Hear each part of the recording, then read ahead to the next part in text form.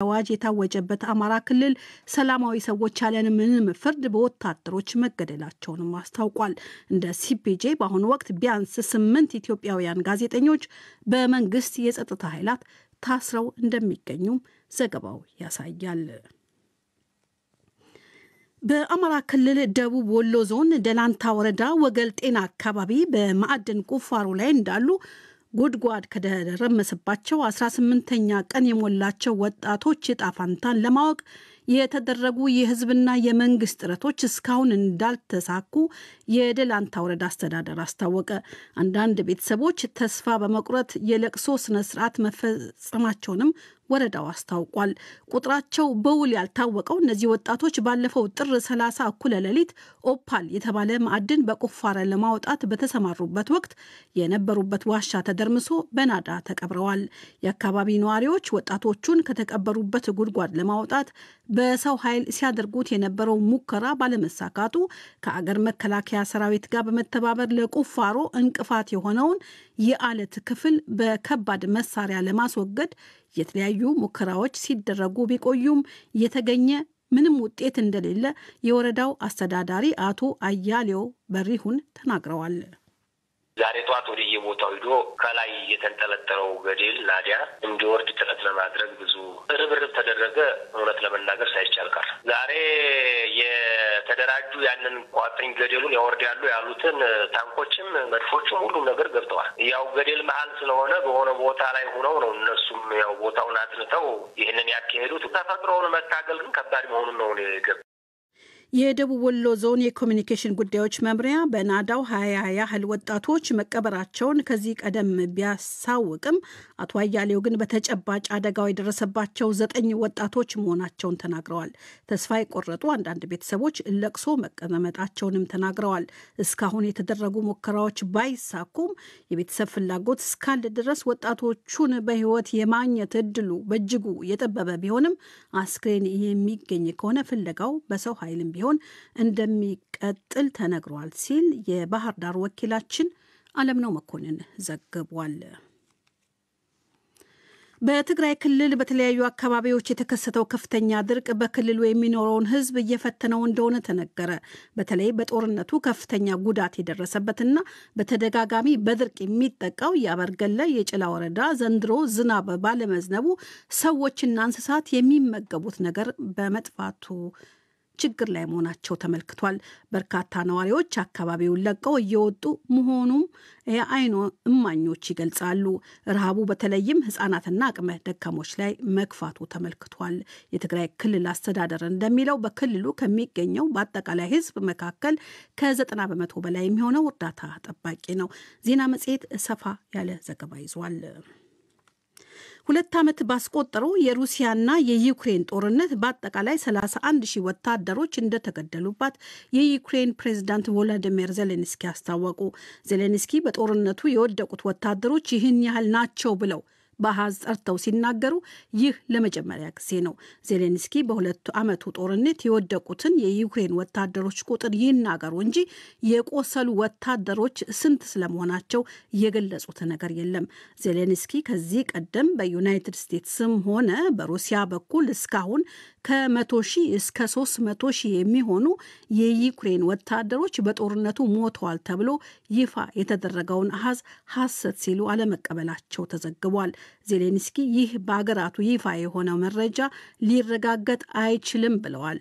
ፕሬዚዳንት ዜሌንስኪ ካለፈው ነሐሴ 2015 ዓ ም ጀምሮ በአማራ ክልል በተለያዩ አካባቢዎች በተፈጠሩ የጦርነት ክስተቶች በርካቶች ሲገደሉ፣ ሌሎች ደግሞ የአካል ጉዳት ደርሶባቸዋል፣ ንብረታቸውም ወድሟል። በጸጥታው መደፍረስ ምክንያት የመንገዶች መዘጋጋትና እንደ ልብ ሸቀጦችን ወደ ገበያ ማድረስ ባለመቻሉም የኑሮ ውድነቱን በእጅጉ እንዳባባሰው ነዋሪዎቹ ይገልጻሉ። ሰሞኑንም ከጸጥታ ጋር በተያያዘ ከደብረ ብርሃን ወደ ደሴና ከደሴ ወደ ደብረ ብርሃን ባሉ መስመሮች መንገድ መዘጋቱን ነው ነዋሪዎቹ ለዶይቼ ቬለ በስልክ ያስረዱት። ለደህንነታቸው ሲባል ስማቸውን መጥቀስ ያልፈለጉ አንድ የሸዋሮቢት ከተማ ነዋሪ እገታዎች እየበዙ በመምጣታቸው መንግስት ከየካቲት 16 2016 ዓ ም ጀምሮ መንገዶቹ እንዲዘጉ መወሰኑን አመልክተዋል። አዎ ተቋርጧል ተቋርጧል። ከደሴም ወደ ሸዋሮቢት አይመጣም፣ ከሸዋሮቢት ወደ ደሴ አይሄድም። ከሸዋሮቢትም ወደ ደብረ አይሄድም፣ ከደብረ ብርሃንም ወደዚህ አይመጣም።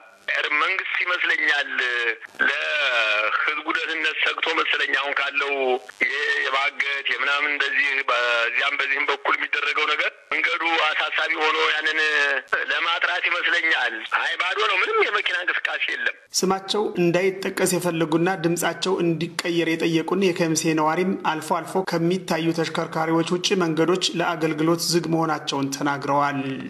ይቁም ብሎ ታውጇል። ግን አንዳንድ ሚኒባሶች አንዳንድ አልፎ አልፎ አሉ። ግን ያው እገዳው ተጠናክሮ ይቀጥላል እየተባለ በአማራ ክልል ሰሜን ሸዋ ዞን የካራቆሬ ነዋሪ በበኩላቸው መንግስት ኦነግ ሸኔ ብሎ የሚጠራቸው ታጣቂዎች በቅርቡ ማርዋጫና ሰንበቴ ቆሮ ግድያና ዝርፊያ መፈጸማቸውን አመልክተው በዚህ ምክንያት መንገዱ ሳይዘጋ እንደማይቀር ለዶቼ ቬሌ ገልጸዋል።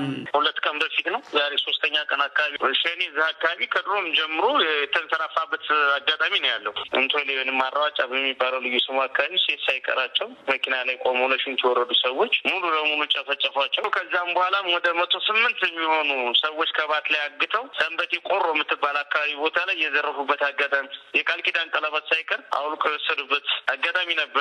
ይህን ይህን በመመልከት መሰለኝ የአካባቢ ኮማንድ ፖስት መንገዱ ዝግ እንዲሆን አድርጎታል። አሁን ምንም አይነት እንቅስቃሴ የለም በኛ ጋር። አንድ የደብረ ብርሃን ከተማ ነዋሪ በሰጡና አስተያየት በመንገዱ መዘጋት በርካታ ሰዎች በደብረ ብርሃን አውቶቡስ መናኸሪያ ለእንግልት መዳረጋቸውን ገልጸዋል።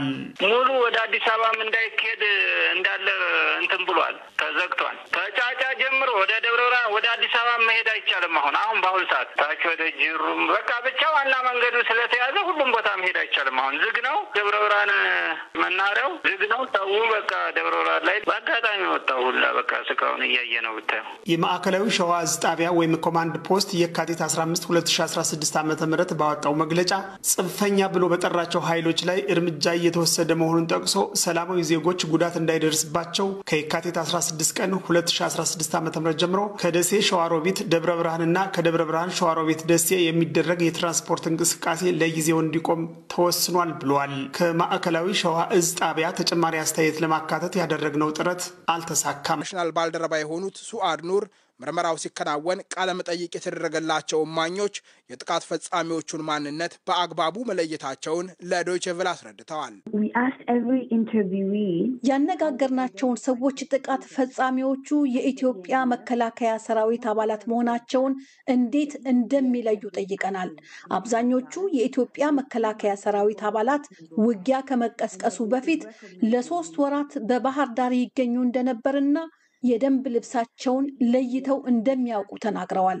ከዚህ በተጨማሪ አብዛኞቹ ያነጋገርናቸው ሰዎች በአድማ በታኞች፣ የከተማዋ ፖሊሶችና የኢትዮጵያ መከላከያ ሰራዊት አባላት መካከል ያለውን ልዩነት ከግጭቱ በፊት እንደሚያውቁ ገልጸውልናል።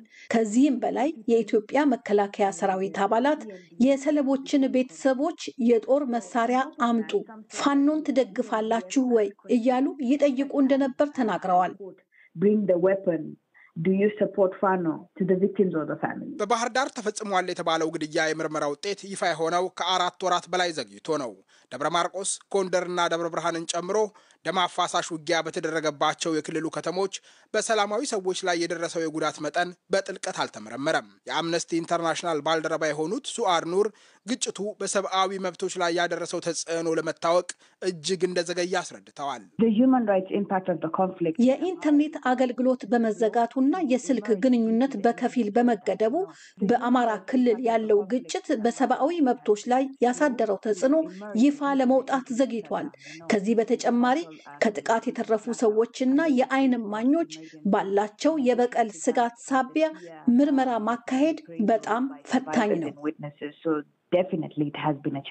የጠቅላይ ሚኒስትር አብይ አህመድ መንግስት በክልሎች የሚታዘዙ የልዩ ኃይሎች አባላትን ወደ ሌሎች የጸጥታ መዋቅሮች ለማስገባት ውሳኔ ሲያስተላልፍ በአማራ ክልል የተቀሰቀሰው ቀውስ አስራ አንደኛ ወሩ ሊደፍን ሲንደረደር እስካሁን ይሄ ነው የሚባል መፍትሄ አልተገኘም። ክልሉ በግጭት እየተናጠ ርዕሰ መስተዳድር የነበሩት ይልቃል ከፋለ ተነስተው በአቶ አረጋ ከበደ ተተክተዋል። አዲስ የተሾሙ የክልሉ ባለስልጣናት የጠቅላይ ሚኒስትር አብይ አህመድ ብልጽግና ፓርቲና የፌዴራል መንግስት ሹማምንት በተለያዩ ከተሞች ከአማራ ክልል ነዋሪዎች ውይይት ቢያደርጉም እስካሁን በተጨባጭ ግጭቱን አላቆሙም። ከክልሉ የተለያዩ ዞኖች የተውጣጡ የማህበረሰብ ተወካዮች ወደ ጽህፈት ቤታቸው ለውይይት የጋበዙ ጠቅላይ ሚኒስትር አብይ አህመድ ከግጭቱ ጀርባ የውጭ ኃይሎች እጅ አለበት የሚል እምነት እንዳላቸው ጠቆም አድርገዋል። መንግስትና ገዢው ብልጽግና ፓርቲ በሚቆጣጠሯቸው መገናኛ ብዙሃን ባለፈው ሳምንት በተሰራጨው ውይይት በእርግጥ መንግስታቸው ግጭቱን በንግግር ለመፍታት ዝግጁ መሆኑን ሲናገሩ ተደምጧል። በየሰፈሩ አምጡና አወያዩና ይቅርታ ብለን